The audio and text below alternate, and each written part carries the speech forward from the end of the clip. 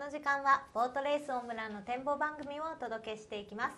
本日も解説していただきますのはスポーツ報知の長谷明則記者です。長谷さんよろしくお願いします。よろしくお願いします。7日間開催で行われているスポーツ報知杯本日4日目予選最終日を迎えました。予選は本日の第10レースまでとなっています。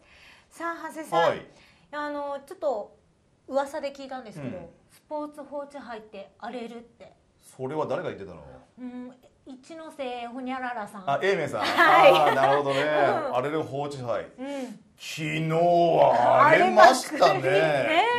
なんか、うん、序盤から「え何、うん、満州ボンポン出たり3連単120番人見ないですよねなかなかね。それでなんか、はい、あの2日目はね、うん、インが10勝してね大村らしくなってきましたねって言ったらなんか昨日逃げない逃げない逃げない逃げない。ね7レースまで逃げなかったですからね。で8レースの予想をしてて、うん、インじゃないとこ書いてたら、インが逃げたんですよね、なんででしょうね。もう荒れる放置杯 僕も昨日夜も荒れまくりましたよなんかもう。長谷さんは荒れないで。あでもね、昨日はね選手に聞くと、はい、なんでですかっていう声が多かった、逆に逆に、昨日。ただ昨日は対岸からの横風が急に強く吹いたんだレースで。ただスタート地点でこう船が横に向くでしょ、はい、それでスタートが遅れるレースが何個かあったらしい。だから選手が「長谷さんちゃんと壁になってくださいよ」って言ったら「いや私じゃ無理でしょ」って話だけどでもそのやっぱ風の、うん今日今世結構風の強弱。や、ね,、んだり、うん、強くなったり。本当5分以内で強さが変わるんですよね。だから風が落ち着いてくれたりしたら、また陰が強くなると思うけど、またその強弱のある時間帯とか、はい、どうなるのかなというのはちょっと昨日選手話して分かりました。はい。まあ、本当なかなかね120番人気って見る機会ないんですけれども。そうでもびっくりしたよね。昨日はねその120番人気の立役者佐藤英吾選手2回とも？だから1着取ってね、はい、10万種、はい、でそ次のレースは3着に入って2連単はもう本命っぽかったけど。すごいな。佐藤君だけ甘く見ちゃダメだね、いやもうそうですねね、砂糖は甘いですけど佐藤君は甘く見ないように。佐藤君ってね、可愛い可愛い顔してるよ。あそうなんですか？甘い顔してるから、はい、甘いフェイス好きです。はい。さあということでね、はい、今日は社杯の予選最終日となるわけなんです。社杯でしょ？社杯でしょ？本当何やってんだ、はい、社杯なのに長谷さんいやじゃあ今日はもうあれ予想でいきましょうよ。はい。はい。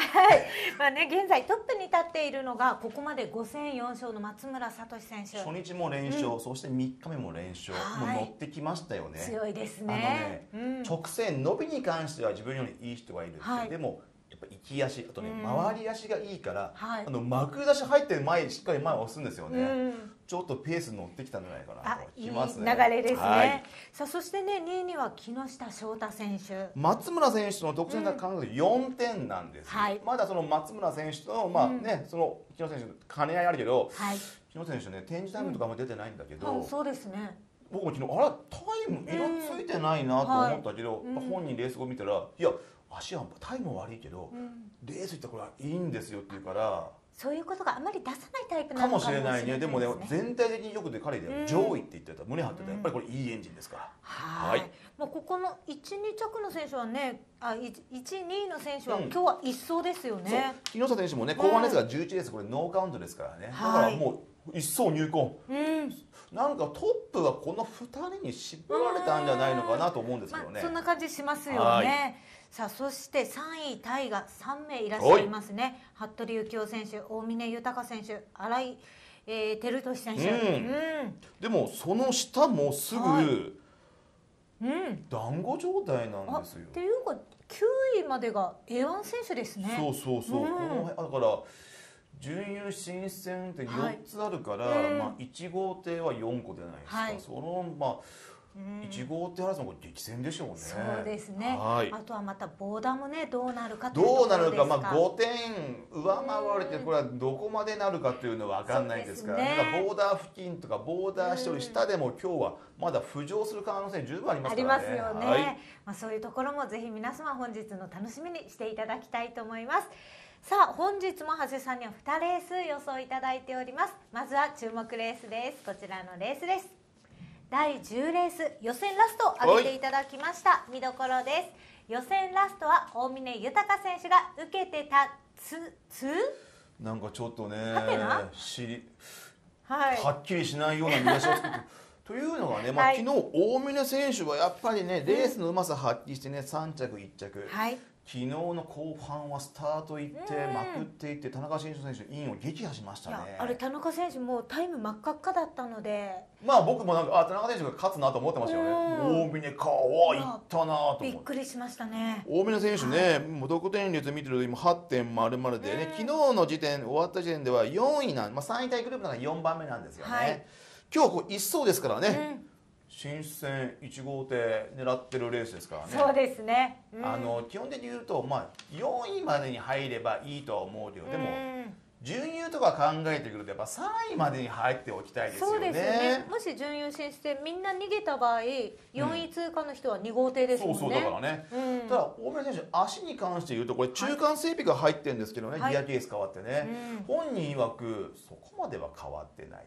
ちょあ彼の足合わせをしないので、はい、レースにしかしないんで分かんないけど、比較分かんないけど悪くはないと思う。だからいいとはまだ言わない。悪くはただあとね、これ前走者が井上大輔選手、はい、前回は彼伸び型に叩いたんですよ、うん、もう思いっきり、うん、でも伸び型に叩いても伸びずに、うん、でも出足がなかった。周りがなかった、はい、大村選手言うとやっぱり、えっ、ー、とね2日目に聞かれたのはね、乗りづらいあそうなんだからこれね、うん、前走者のペラの癖が強くて、はい、乗りづらいから治んないかもしれない。で昨日聞いたらだいぶ癖は取れてはきましたよ。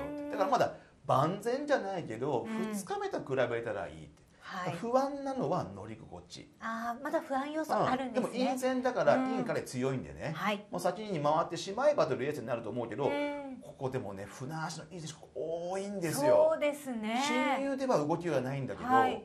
2番下川選手これ伸びてるし、うん、4番新井選手これ伸び上位ね、うん、ですよね。で新井選手なんてフライング持ってるんだけど、うん、今節全部トップスタート。全部ですか？昨日01あったんですけどね。ありました、うん、全部トップスタート。そしてね青木選手もこれね足全然悪くない。だからもうこれ内寄りがいい。でもね実を言うと5番の池田選手もこれ11号機じゃないですか。そうですね。昨日やっと伸びる感じ出てきたって言ったの、はい、だからこう5番もいい。太田選手はね正直言うとまだよくはない。ここに入ると一番見劣ると見劣ると思う、はい、でも乗り心地は良くなってきたんでね。誰かが握っていってくれたら展開があるかもしれない本来も1の頭からだと誰かを軸にして買いたいんだけど、うん、さっき言ったように2番と4番は出てるし、はい、3番も悪くない、うん、ちょっと誰かを2着の軸にしづらかったんで、ちょっとすいません。もう印の回った3人で G 争いというフォーカスまず出しました。はい。そして狙い目なんですが。まだ狙うよ青木選手僕は。あのちょっとね期待してたけど成績が伴ってませんね。だから本人もやっぱり大室初登場で、はい、A1 勝負ができちょっと気持ち的にも空回りしてる気がする、そうですね。でも、足はこれ全然悪くない、はい、そして彼ここ今日ね一走なんですよねえー、3日目が終わった時点でいうと29位、はい、でもまだここで勝負がけですね。勝負がけ、うん、2着でも乗れる可能性はあるんだけど、はい、でもここ思い切って攻めていってほしいな、うん、そうですね。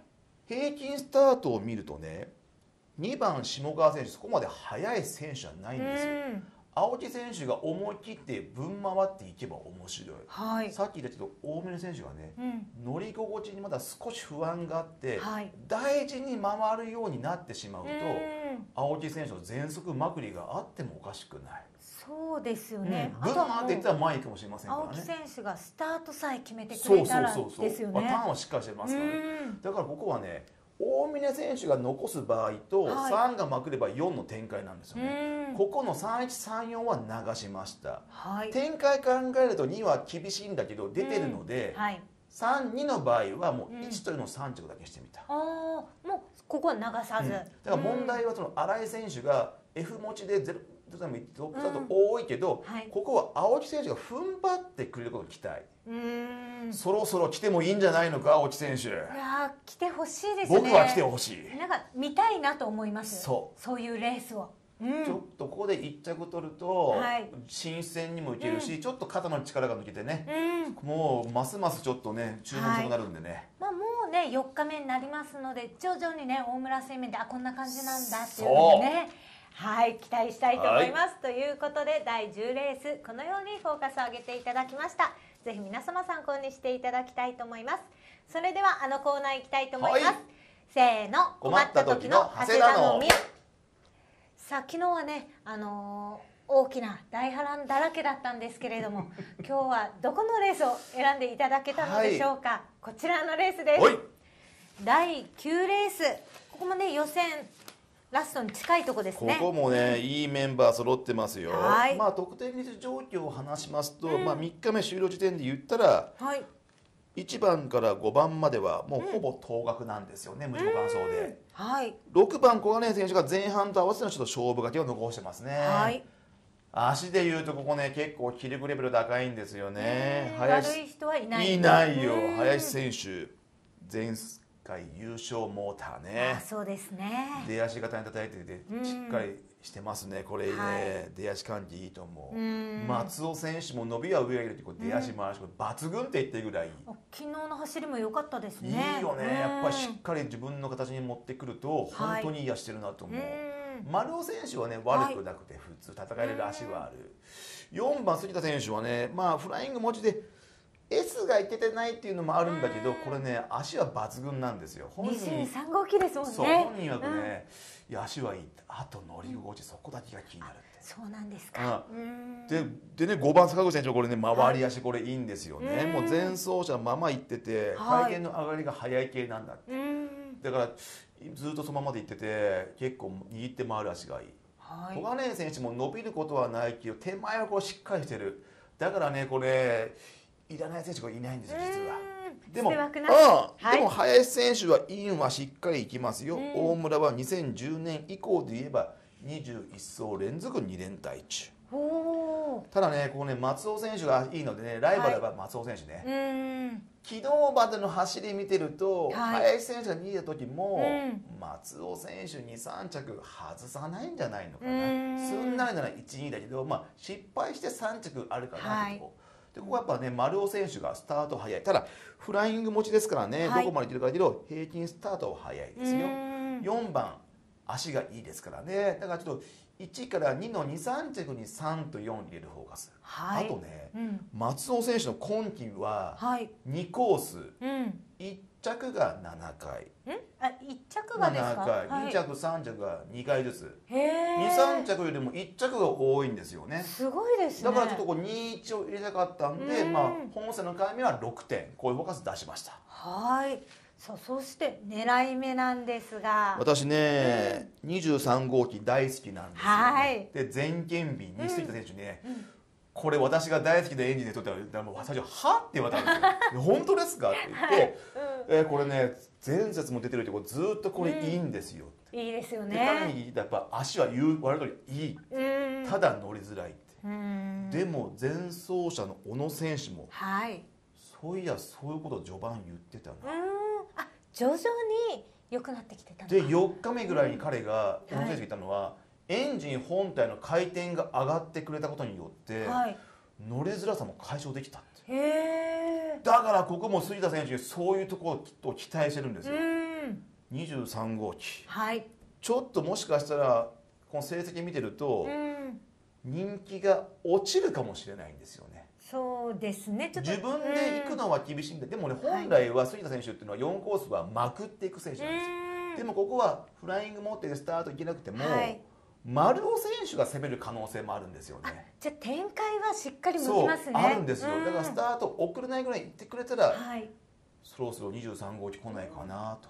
あのいつも長谷さん言われてますけど、うん、本当にやっぱいいエンジンってこの中間ね真ん中折り返しぐらいから足が、ね、大体エンジン本体しっかり回転が、うん、やっぱり今秋になってね、はい、湿度が下がってるんですよ、だからより回転の上がり良くなってくるはずなんでね、はい。ちょっと皆さんここはもう、うん、ええー、と思ってもあ23号機のパワーがすごいので、うん、ここはもうねまくっても刺しても何しても、うん、1番と2番うちのいい選手が残してくれるだろうというフォーカスで3着ちょっと流して穴狙いたいなと思ってます。いやもうモーター博士が言うから間違いないですよ。いやですよね。はい。はい、ということで狙い目は4号艇の杉田選手の頭から内枠2人を残して3着は流しと挙げていただきました。はいさあ今日もね大波乱が見られるんでしょうかね。僕にとっては別に9で10ですね、うんうん、狙い目が出てくれて荒れたら別に荒れる放置でもいいですからね、はい、そうですね、はい、はい、ということで本日も皆様荒れる放置杯お楽しみください、まあ、予選最終日ですのでポイント争いにもね、はい、注目していただきたいと思います。ということで本日も解説していただきましたのはスポーツ報知の長谷明則記者でした。長谷さんありがとうございました。ありがとうございました